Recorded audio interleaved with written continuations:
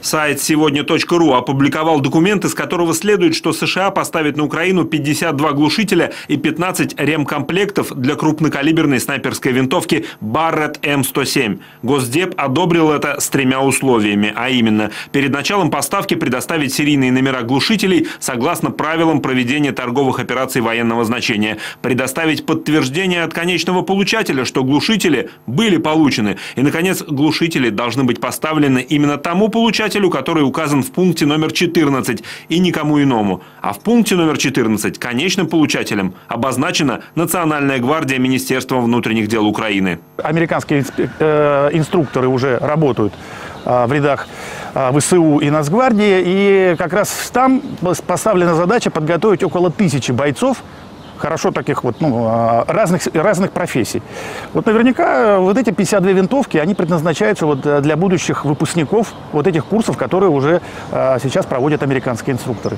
Да, цена вопроса всего полмиллиона долларов, но здесь важно, что исходная документация с визой Госдепа раскрывает всю схему поставки. Изготовитель – компания Barrett Firearms, экспортер AMI Global Security. Вывоз с территории Соединенных Штатов осуществляется через аэропорт в Нью-Йорке или через Портленд, штат Орегон. Далее посредник. В этой сделке им должна стать болгарская компания Балкомерс, зарегистрированная в Софии. Скорее всего, ее включили в схему, чтобы замести следы. Мало ли, что поставляет Америка своим союзникам по НАТО. НАТО. Никто не обратит внимания на еще один грузовой контейнер. А вот из Болгарии на Украину глушители могут уехать уже под видом каких-нибудь автозапчастей. Что же касается использования Болгарии как страны-транзитера, то могу сказать, что на протяжении последних как минимум 20 лет территория Болгарии использовалась для различного рода оружейных э, сделок, где необходимо было прятать концы.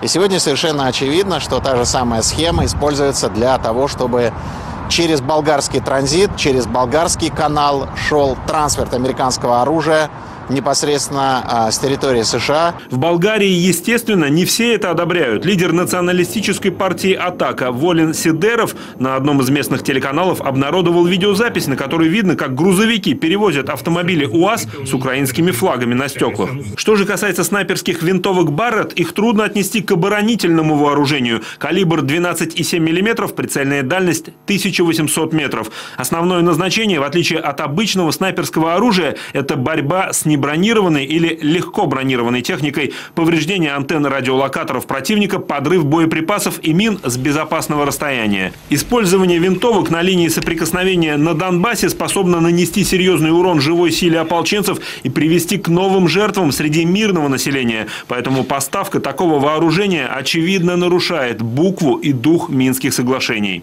Это уже не первая партия летальных вооружений, которое поставляется через Болгарию американскими э, фирмами на Украину. Во-первых, факт поставки глушителей и э, соответствующих рекомплектов говорят о том, что указанные снайперские винтовки уже находятся в подразделениях Национальной гвардии Украины. А ведь были уже и штурмовые натовские винтовки М-16, которые бойцы ДНР находили в терминале Донецкого аэропорта. Получается, что поставки стрелкового оружия начались как минимум несколько месяцев назад. Но Вашингтон по-прежнему заявляет, что не намерен поставлять Украине наступательное вооружение, так как конфликт на Донбассе нужно решать дипломатическим путем. Об этом заявил сегодня пресс-секретарь Белого дома Джош Эрнест на саммите G7 в Баварии. Но ведь и раньше Вашингтон долго и упорно упорно отрицал свое участие в организации госпереворота на Украине. Дмитрий Петров, Вести.